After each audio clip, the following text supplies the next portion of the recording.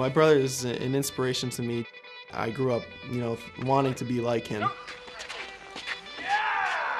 Just in everything he did. So when he went out and played basketball with his friends, I wanted to be out there playing basketball. Seven years younger than his big brother TJ, Jimmer Fredette tagged along as they grew up in Glens Falls, New York. If you were to try to put a, uh, a picture of Jimmer, he had curly hair, he was really big, kind of chunky.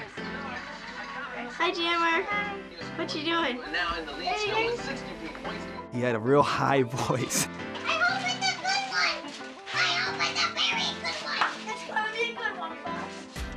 He pretty much just followed me everywhere.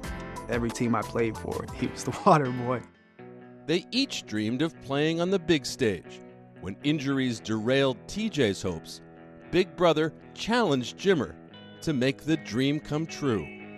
He was starting to get a lot of notoriety in high school.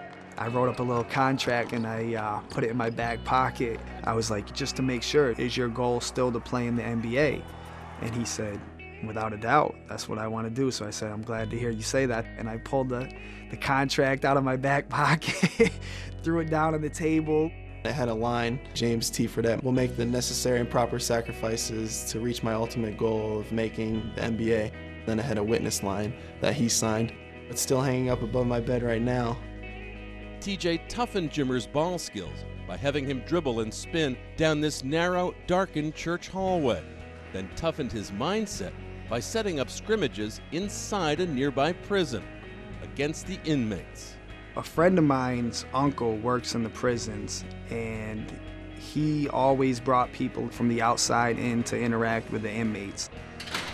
You're not going to get a more hostile crowd than you got when you played inside the prison. When you're walking outside, they have all barbed wire fences and it's all caged in. I mean, you can't go anywhere, you're, you're just trapped, and that's what you feel like hearing all the things that were in the stands and being able to play through it. And it just became a regular basketball game, just like you were playing away at a tough arena.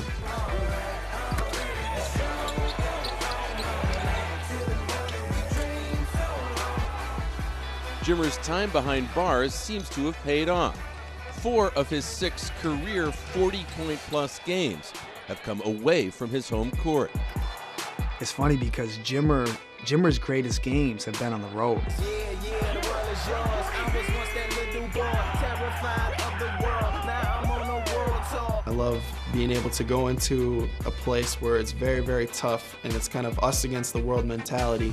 I take it all in, hear everything that they're saying, and then block it out as soon as the game starts. Fredette for three, got it! The big brother he looked up to now looks on with pride as Jimmer Fredette's dream gets closer every day, inspired from the start by TJ. He was always a good example to me in my life, and that's what molded me into the person that I am today.